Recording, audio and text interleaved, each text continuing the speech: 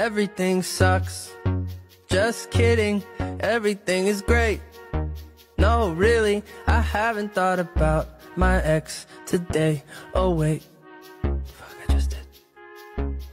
But I went outside for the first time in a few days and it felt nice and I might try doing exercise.